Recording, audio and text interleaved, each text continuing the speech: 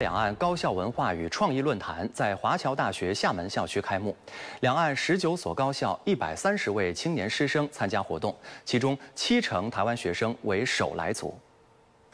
海峡两岸高校文化与创意论坛暨短视频创作营由福建省教育厅、福建省青年联合会、华侨大学联合主办，吸引台湾艺术大学、台北科技大学、金门大学、华侨大学等两岸十九所高校的一百三十位青年师生参加。活动为期七天，两岸大学生将共同听取专家报告，探访厦门影视产业基地和 MCN 机构，深入厦门、泉州的老街巷陌、红砖古厝等地创作短视频，用影。向共同弘扬中华优秀传统文化。其实来到我们这个厦门，或者说来到泉州吧，它对我来说其实跟回家一样，因为我本身祖籍在泉州，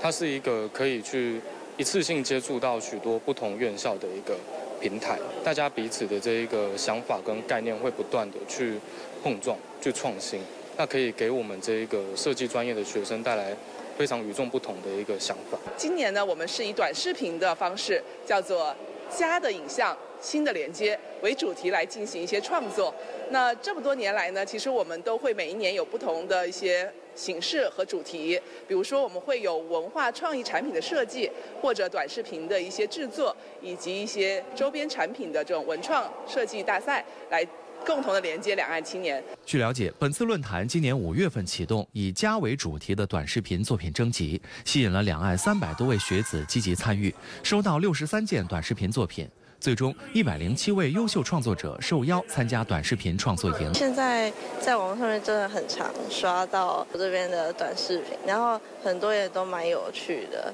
然后我自己是比较喜欢看，想要透过这个活动，然后。